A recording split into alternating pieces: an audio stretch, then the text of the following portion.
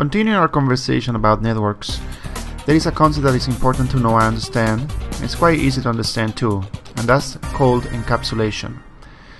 On the left side, I had my seven layers of the OSI reference model. On my right side, I have a representation of a data package in each of these layers. So when somebody, uh, when a host A is sending a, a message to host B, the data starts from the application layer and goes all the way down to the physical layer and then is transmitted to the physical layer to the other host or the next host. So at the beginning in the application layer you have only the data. Then the presenta- then the data goes down one layer to the presentation layer and that layer adds to the original data its header or presentation header. That's an extra chunk of data that is added to the package with different information from each layer. When it goes to the session, the session adds its own header. The transport adds its own header, the network its own, and the data link its own, and then that is transformed and sent in the physical medium. So you can see that um, each layer adds its bits of, and pieces of information to the package. And when this package ar arrives to the destination or to the next host, um, well, if, if the next host is not the destination, it's just um, sent to the next one until it reaches destination, and then it goes its way up through the seven layers again. And when it goes up, each of these headers gets removed from its corresponding layer. And this is called data encapsulation. Now, as you can see here, we're going to talk about the TCP IP reference model. Uh, this, like I said in the previous video, is the current standard model used today. The OSI level is really not used. Now, the TCP IP reference model is simpler, it has only four layers, and again, these layers were created after the protocols were implemented and created. So the protocols came first, and then they kind of defined the layers.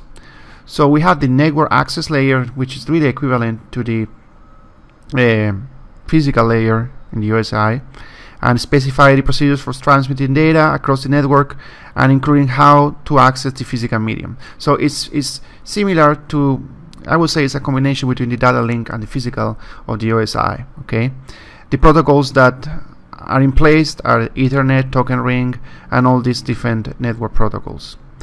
The next one is the internet layer, which is responsible for addressing, transmission, and packet fragmentation and reassembly.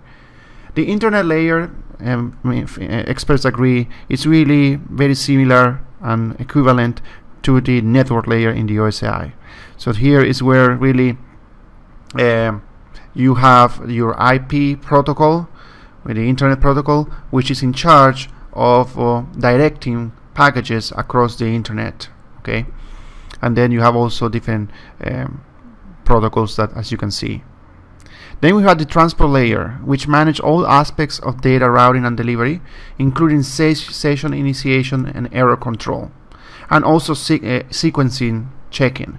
So this is very important. The transport layer, again, very similar to what the transport layer in the OSI reference model does. It's in charge of all this, and for that it has two protocols, two major protocols: the TCP and the UDP. Now the TCP or the transport control protocol is an orient it's a connection oriented protocol connection oriented protocol this means that from end to end you know the data is is sent reliable with re reliability and with different controls and checks.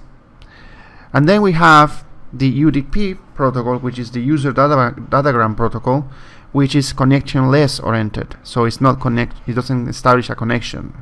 And so those acknowledgement packages uh, doesn't circulate so much as with the TCP.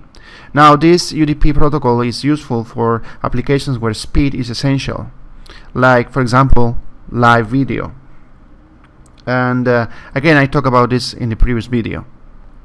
Now the next layer is the application layer and this layer really handles everything else and um, in, uh, it performs the jobs of the OSI presentation layer okay and uh, also part of the session layer.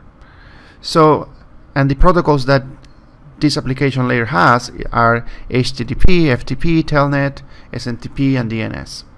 So as you can see, although the TCP IP reference model and the OSI model seems to kind of have things in common, the differences are also clear, as I mentioned before.